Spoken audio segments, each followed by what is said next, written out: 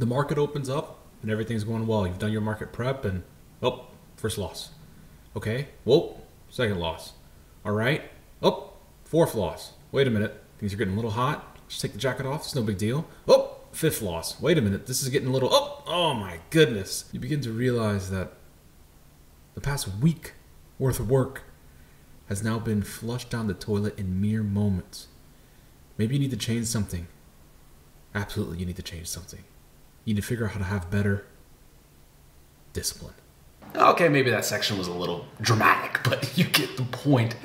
And I'm not trying to say that you need to delete all your favorite apps on your phone in order to keep this whole discipline practice thing going. All I'm saying is All of us need to have a little bit better discipline in order to be the best possible traders that we can be. And this video is really centered around trying to share with you guys how I improved my trading, how I built a better discipline process to become profitable. And what I'm going to do is I'm going to give you three keys, not one, not two, but three keys to show you different things that you can do to be better every single day. And I think the best way to start off with that is understanding that you need to have the best possible preparation. Every time you press buy or sell, every time you have there's a market order or a limit order, you are playing against normal guys like me and massive banks like Goldman Sachs that have billions of dollars at their disposal and are trying to make different things happen than you. Not everyone's a scalper, not everyone's a day trader, not, not everyone's trying to swing. You have massive companies hedging, you have massive companies making acquisitions, trying to short sell GameStop. There's so many different things going on, and they're beyond our control. We have to constantly remind ourselves of that fact. Preparation puts up guardrails on ourselves, which I believe is the first stage of discipline. There are three components that fit really nicely in the preparation. Before any market opens, before any buying, before any selling, we need to make sure that we prepare our mind, body, and our soul. I think everything should start off with the body. You know, obviously, there are numerous benefits to working out, but some of the most important for traders are the idea that working out consistently, just two to three times a week, can improve your cognitive abilities, reduce stress, and reduce your exposure to things like depression. I don't know about you, but after placing five or six trades that have lost time and time and time again, depression gets all of a sudden a lot closer than it used to be.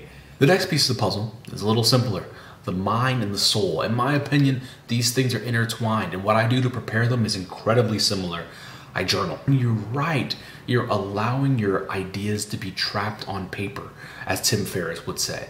You want to trap these things on paper so that they can prove themselves to be right or wrong. After continually doing this process, you're able to build up data as well to where you can start looking at your trading performance and asking yourself, did I lose this trade just because the system wasn't working, or did I lose this trade because I had a bad plan and I need to fix it?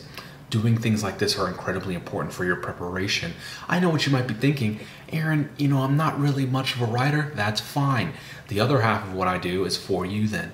When I'm preparing, mind, body, and soul, one thing that I'm doing for my journaling when I'm actually trading is I'm talking aloud. Obviously, I talk aloud on stream when I talk about the trades that I'm trying to take. I let you know when I'm in on something. I try to give you the analysis as things are happening. But when I'm not trading on stream, I do the very same. I screen record myself and the chart as everything is happening.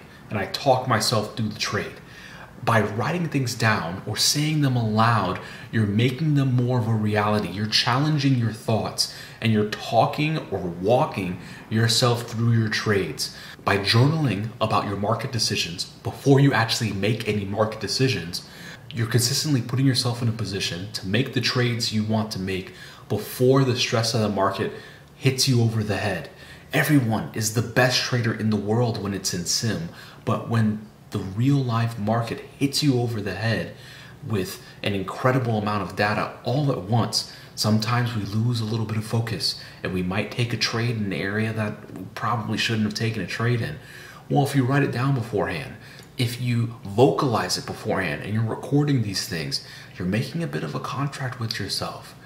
Better yet, if you record these things by writing them down or recording them and then you share them in a community, in a Discord, on X or Twitter or whatever they're calling it, on Facebook or what have you, if you're doing these things and you're creating a social contract for yourself, then that's going to be one more layer of difficulty you're going to have to get through if you want to make bad decisions. So, if you know you have a profitable system and you just need to be a bit more disciplined in preparing to take the trades that you want to take, make sure you're journaling about these trades, journaling about these ideas, journaling about how you feel about all of these things. Because putting the simple pen to pad or vocalizing what you're thinking about is such an incredible way to create a contract with yourself.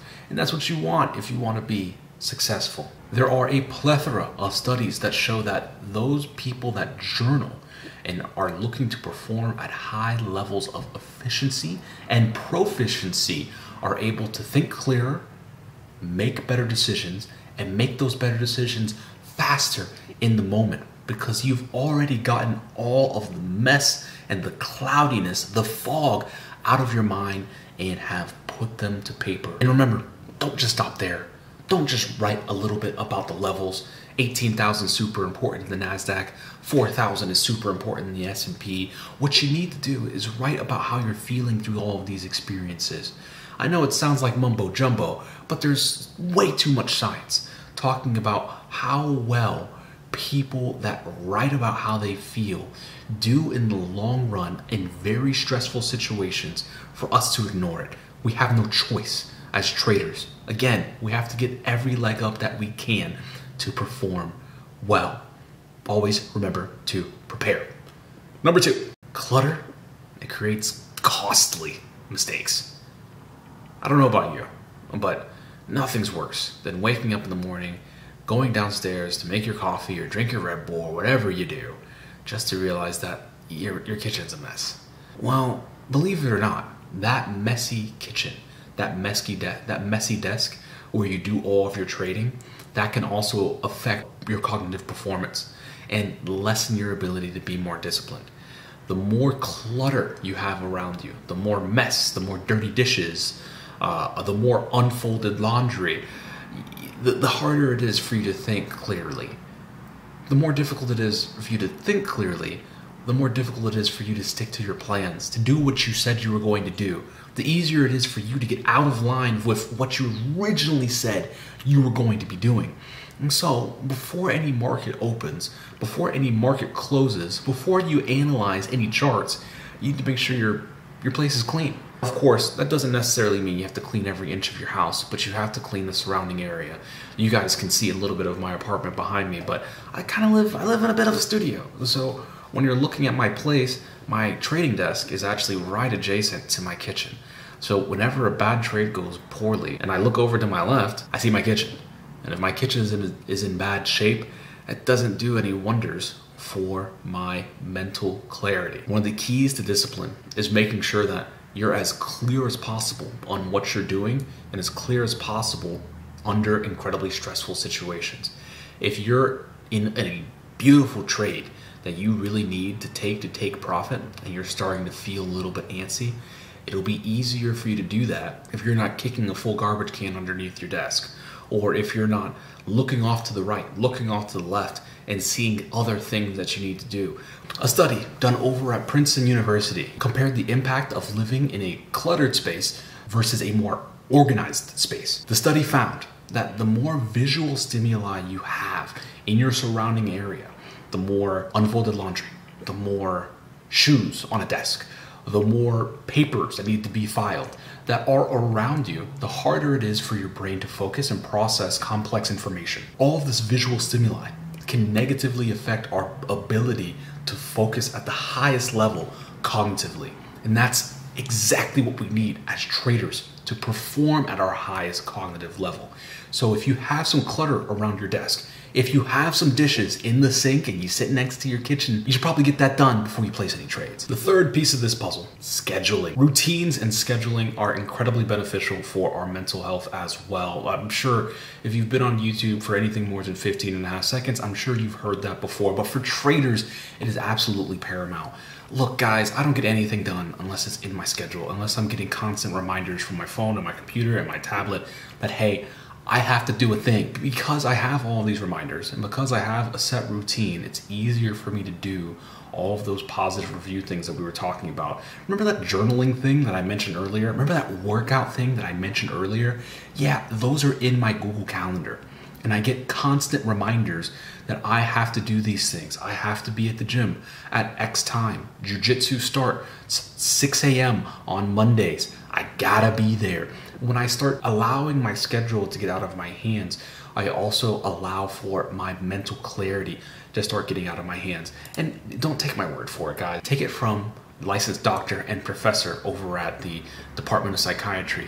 He's actually the chair of the Department of Psychiatry over at Jersey Shore University. He writes, while many of us complain about how busy our schedules are, it represents expectations and patterns that are important component of good mental health. We, we have to have these routines. We have to have these reminders and we have to use the tools that we have readily available to us to help us to keep this discipline.